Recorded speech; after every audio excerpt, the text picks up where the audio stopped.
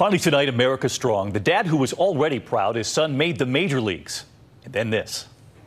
23 year old Isan Diaz of the Miami Marlins was making his major league debut. Before the game, the second baseman greeting his family who traveled from Springfield, Massachusetts to watch him play against the Mets.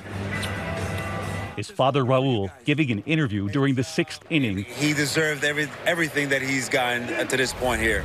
And then this. Is this an emotional day for you? Very, very emotional.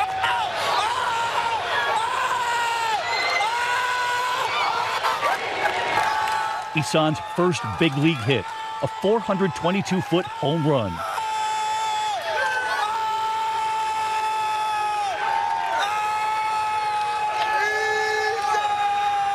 Isan sunglasses on and two thumbs up. After the game, a home run on the books and a big hug from dad. Yep, that'll make a dad proud. Made us proud, too. I'm David Muir. Have a good evening. Good night.